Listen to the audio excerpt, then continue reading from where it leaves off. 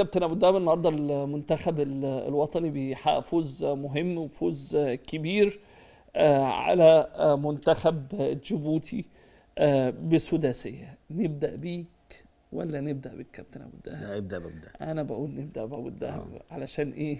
مطولين مع بعض. كابتن أبو الدهب آه كنت متوقع الفوز بالعدد الكبير من الأهداف دي آه في ظل طبعا يعني قوة قوة جيبوتي مش مش مصنف فريق مش مصنف آه بشكل كبير ولا كنت خايف من حدوث أي مفاجآت؟ لا في البداية إسلام لازم تقول مبروك لمنتخب مصر على الفوز الكبير النهارده. لكن خليني أقول لك إن واضح إن في هدف من البداية. يعني في بداية المشوار إن في هدف بدليل إن أنت بتلعب النهارده بالقوة الضربه بتاعتك يعني فيدوليا بدأ بالقوة الضربه بتاعته كل اللاعبين اللي هم جاهزين. وعلى فكرة كان في على الدكة برضو بعض اللاعبين ما شاركوش لكن أنت بتتكلم على منتخب مصر عنده هدف بيحققه إن هو أنت توصل كأس العالم من بدري ودي فرصة كويسة نظرا لضعف المجموعة. عشان بس الناس بتقول لا أنت الفرقة اللي هتنافسك الوحيدة اللي ممكن المنتخب اللي ينافسك شوية هو بوركينا فاسو. لكن الأداء كان النهارده أداء شكله كويس قوي شكله حلو. النهارده في ضغط في انتشار في لعب على الجون يا اسلام انت بتجيب هدف من نص فرصة. يعني النهارده الأربع كور اللي جات له محمد صلاح يمكن ده بقول لك الكورة بتحبه.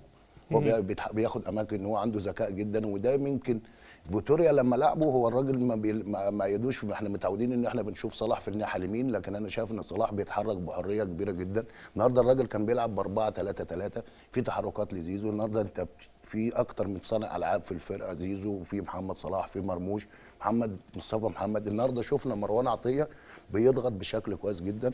إنني يعني مباراة في ناس آه ممكن تقول لك جيبوتي ضعيفة آه ضعيفة لكن أنت عندك هدف حققته إن أنت بتوصل إن أنت تجيب ست أهداف.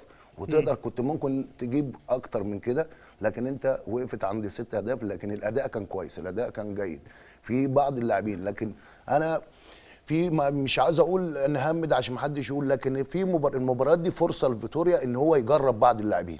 ان انت في محتاجين ان انت لازم تشوف كل اللعيبة. لأن انت عندك التصفيات لسه طويلة. النهارده لازم تشوف النهارده حتى الراجل لما شاف ضعف مستوى جيبوتي ابتدى يطلع محمد عبد المنعم ونزل على جبر. لكن الاعمار يا إسلام هي دي مشكلة منتخب مصر. الس- السن الكبير في منتخب مصر الماتشات دي فرصة إن انت تقدر تلاعب بعض اللاعبين الصغيرين اللي انت تقدر تكتشفهم بعد كده. إن انت عندك مصطفى فتحي لازم يشارك إمام عاشور لازم يشارك. النهارده بنشوف حمدي فتحي وبنشوف مروان عطية. بعض اللاعبين لازم تاخد فرصتها من البداية. النهارده محمد شريف نزل تألق بشكل جيد. شفنا عمر كمال عبد الواحد بيأدي بشكل جيد. يمكن محمد يمكن هو محمد هاني كان ناس كتير متوقعة إنه يبدأ لكن عمر كمال عبد الواحد بيشارك وبيأدي بشكل كويس جدا. لكن في النهاية مجمل لا مباراة كويسة من حيث إن أنت الأهداف من حيث الضغط من حيث الانتشار. هو ده اللي إحنا شفناه النهارده. في ناس دي ممكن تقول لك اصل المنتخب ضعيف لكن المنتخب ضعيف وأنا متفق آه، معاك بس أنت في النهاية كسبت ست أنت من النهاية إن أنت بتدي رسالة لبعض الفرق إن أنت ما بتهرجش مش هتاخدها من البداية استهتار. لا أنا عندي هدف هحققه إن أنا أكسب وأفوز عشان أوصل كأس العالم. طيب هو الفوز النهارده بسداسية يمكن ما تحققش من 18 سنة. آخر فوز للمنتخب الوطني بسداسية. كان على منتخب السودان 6-1 في التصفيات المؤهلة كان لكأس العالم. أعتقد 2006 هجيب لك التاريخ بالظبط لكن أعلى فوز كان حققه المنتخب الوطني.